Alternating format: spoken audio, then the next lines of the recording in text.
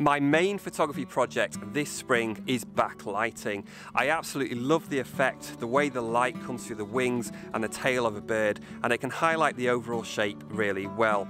So my vision is to capture the drama of this lighting effect by shooting birds in flight.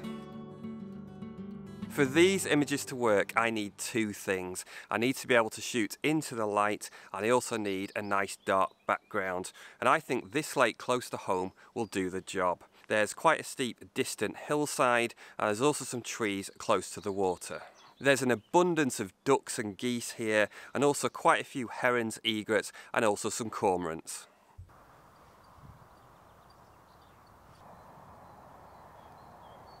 The wind direction is really important here as well. So I really want the wind coming from behind me. Birds are much more likely to take off and land into the wind. So if they do that here, it means I'm going to get them flying towards me.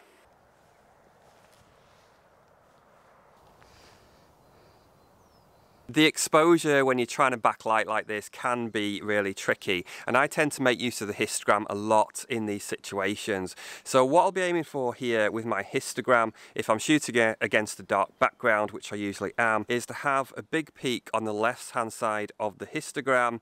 Uh, that's going to be your background and then the highlights which will be where the light's coming through the bird's wings and tail, that'll be very close to the end of the histogram, the right hand side and ideally not blown out out.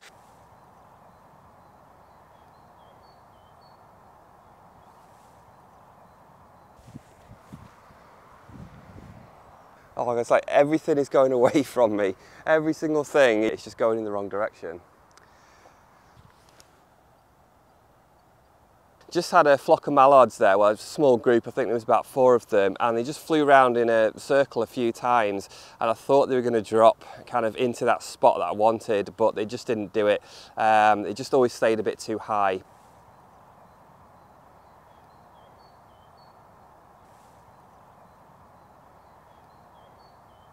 Or how much better do I feel after that? There's a couple of geese that just flew in in a good position.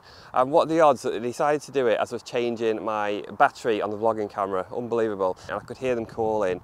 They sounded like they were in flight and I thought there's going to be an opportunity here. So I just quickly looked for somewhere to put the camera. I put it down on a fence post and I tracked them in and they kind of went in that in that window that I'm after with the, the dark background of the shaded trees and the reflections of the water is quite dark as well. Tracked them in, got a few shots and I think I got some splash in as well, hopefully, fingers crossed.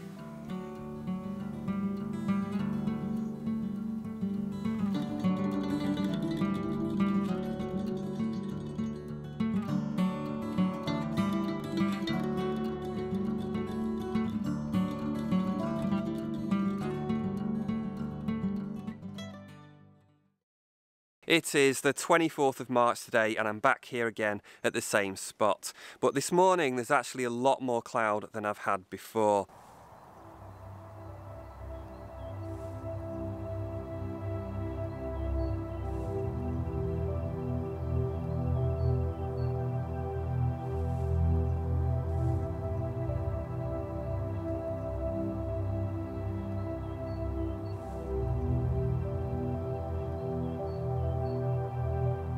I'm really not getting many opportunities today. There's very little that's been flying against that dark background, but there is a lot of birds flying high against the sky. Now it's always good to practice, particularly with flight photography, and I do like a good silhouette.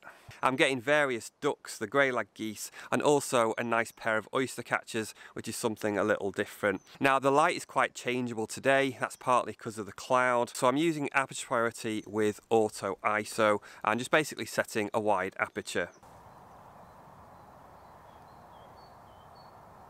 I get a cormorant flyby in front of some quite attractive cloud. Now when I take the picture and then look on the back of the screen and zoom in, I see that there's actually some light coming through the wings.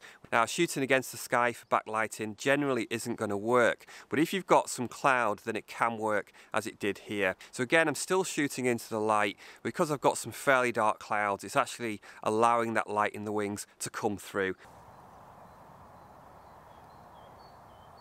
It's the 29th of March today and I've decided to shift my position so I'm going to go down to the right hand side of the lake. I think it might give better backgrounds here.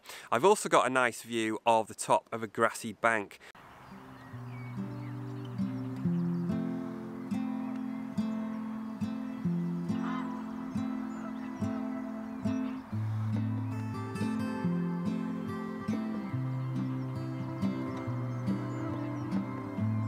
One of the most important pieces of kits for backlighting is of course your lens hood. So if you're shooting into the light, I'd always advise to put the lens hood on and avoid flare.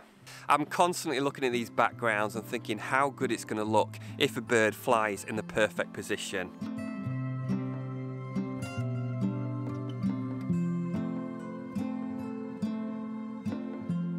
A grey lag goose takes off and catches the light and I know it's far away but I take a shot anyway. This is partly just as practice and to see how the light is all working together. This is much more of what I'm after but I need everything to be closer. But at least I'm on the right track. I know I can get these images, I just have to keep going.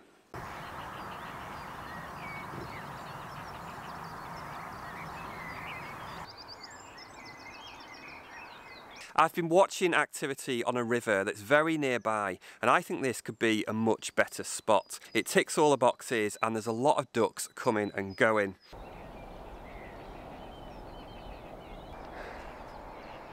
Oh, there's so much going on. Wow. There's so much going on. The conditions this morning are just stunning. There's ducks flying around everywhere. Um, this is the, the first time I've ever been down here uh, with mist in the morning. First time, it's absolutely beautiful. And just those spring colours coming through the mist as well with the buds and some of the leaves unfolding. It is just absolutely gorgeous. The light here is wonderful, mostly backlit, but also some mist just rising against that dark riverbank. Absolutely perfect.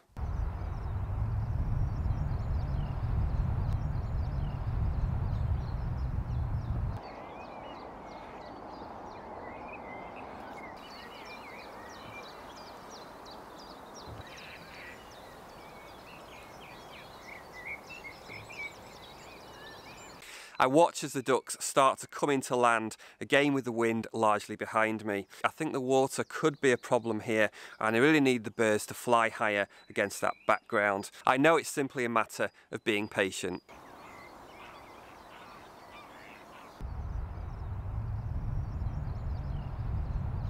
Mist at sunrise is definitely one of my favourite things, but it can be a difficult exposure situation. So earlier on, whilst we've still got quite a bit of mist in the air, I use aperture priority with auto ISO to help cope with the changing lighting conditions, and I also add some underexposure for the highlights. A male gadwall flies towards me, coming into land. I get on the bird, I lock on and fire. This is definitely the best photo from this session.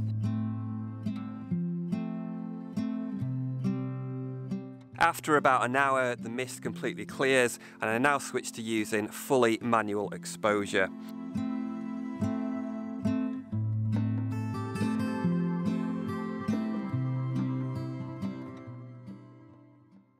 A pair of swans float by and one begins to bathe. I'm shooting at an angle here, kind of half backlit, half side lit.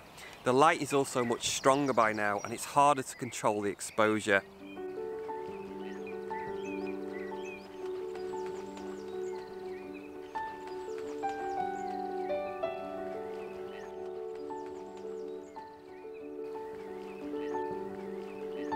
I've actually blown out some of the whites when I look at the resulting images, but I quite like the effect. That overexposure and the swishing of the wings, maybe it just helps to add to the drama.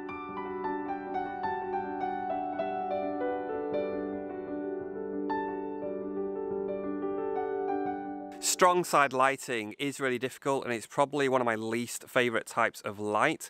But if the sun is a little bit diffused and you're able to control the exposure, then you can get some quite nice results.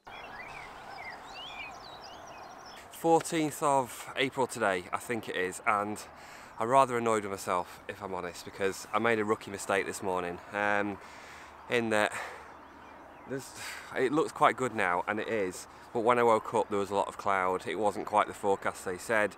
There was a load of cloud, and I was trying to second guess the weather, and uh, just thought there's no point going out when it's this this cloudy and rubbish. And of course, it quickly cleared up, and now there's a lot of blue sky and the sun's clear, so it's perfect for backlighting. So I left a lot later than I should. Um, a little bit annoyed with myself, but you know, we're all human.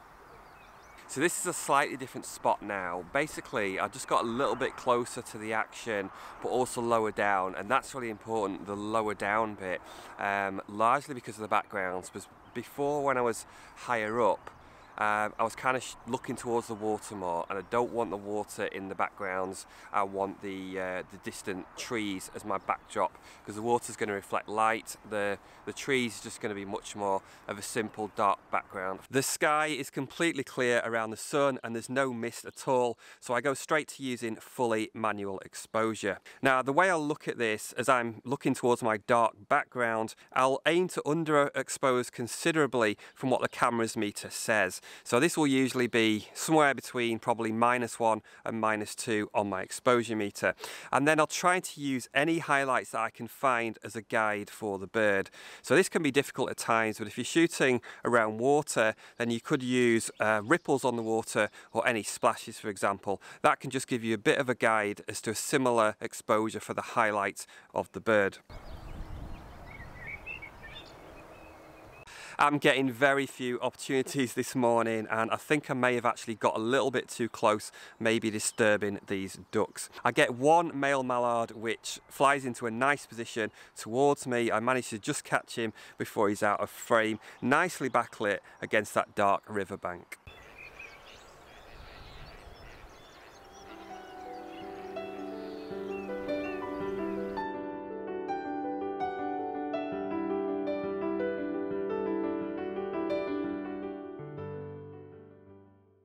Then a lot of my opportunities afterwards just seem to be more side lit, just due to the angle of where the birds are. Now when a duck is in the right position with a good background, it can work quite well. You get some really nice, interesting lighting effects, something a little bit different from the norm. But sometimes there's just simply too much contrast and I find it can be difficult to expose and control the whites.